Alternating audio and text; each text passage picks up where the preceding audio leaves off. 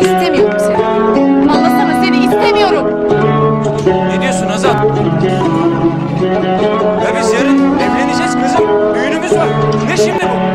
Sen ne diyorsun Allah aşkına? Ben ne yaptım sana? Eskiden ben her şeyi geride bıraktım. Gözümü kapattım ve sildim. Sen de sil. Sen de unut. Ya sen her gün benim yüzüme bakarak beni sevdiğini söyleyen kız değil misin? Ya sen benim için ölürdün be.